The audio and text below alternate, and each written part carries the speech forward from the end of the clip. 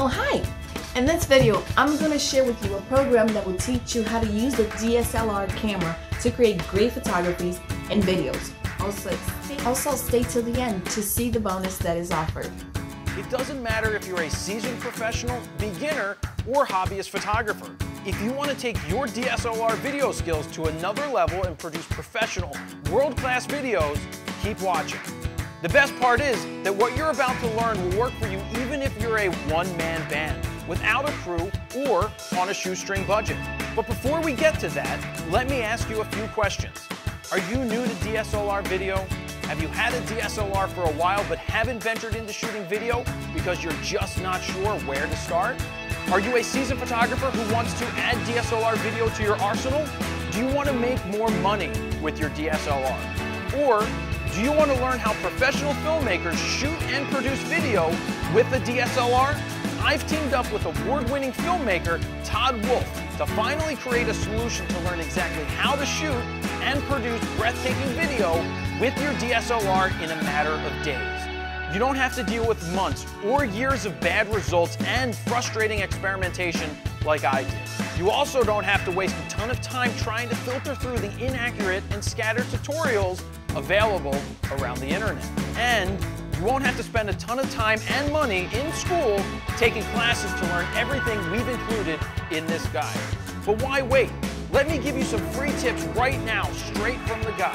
And that's what Todd's going to explain. So what are the different frame rates we're going to be working with? General frame rates that everybody's going to find in their cameras is 24 frames per second, 30 frames per second, and 60 frames per second. So what you're saying is that at 24 frames, we have literally 24 individual still images and 30, there's 60 still frames that all make up the video. Showed you guys a lot of different options that you have to get audio into the camera, but there's one mistake that I made when I first started out because I didn't know any better, and that was how to set the audio levels in my camera. I set it to auto, and auto may not be the right choice. Why is auto not the right choice, Todd? Well, it would be great if the camera did all the work. Unfortunately, when it's set to auto and it's real quiet and nobody's talking, it looks for sound. And that isn't good. I hear a lot of hits in a lot of my early videos, and that really is the reason why. So what, what is the way around it? Well, first thing you got to do is get out of auto and go to manual. If you enjoyed that, be sure to watch until the end because we'll give you another free look inside our video shoot. At first,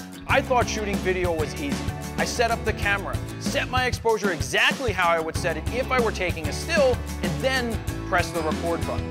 Little did I know, I wasn't even close to doing things properly. I didn't know what a frame rate was and why it was important. I didn't understand that the exposure triangle was totally different for video, and I had no idea how important audio was. I quickly discovered that photography and videography are completely different animals, and just because you're proficient at one doesn't mean you're proficient at the other, which I found out the hard way. Here are some questions I have. How should the different settings be used for the look or style I want? How should I set up the scenes to keep the viewer engaged? What are the hidden rules of shooting amazing video that don't apply to still photography? How do I minimize the time I spend editing in post-production? How do I get the sound just right for any situation? What do I do as far as composition and storytelling to make the video memorable?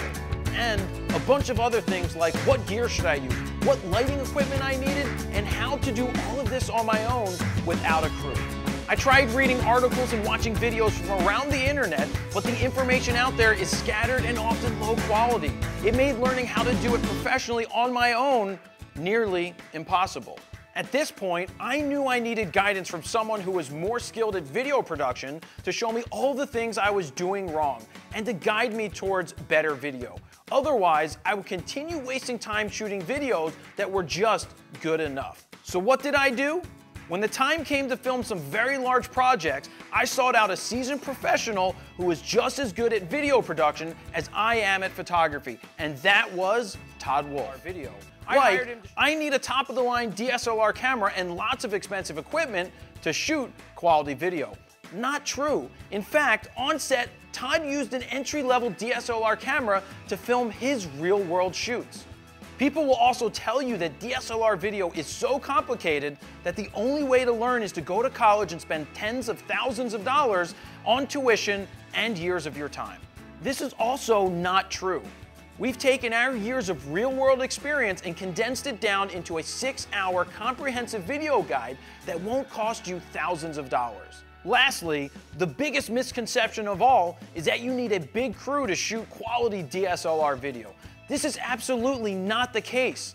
That is why we structured this guide to show you that you can do this on your own as a one man band. When we say you can be a one man band, we really mean that you can do it all. You'll be able to set up any camera, lock in your settings, set up the lights, shoot the video, record the audio, add dimension with camera movement, direct the whole thing, and much more. Todd and I both wish we had a guide like this when we first started shooting DSLR video. It would have saved us a lot of money and years of frustration.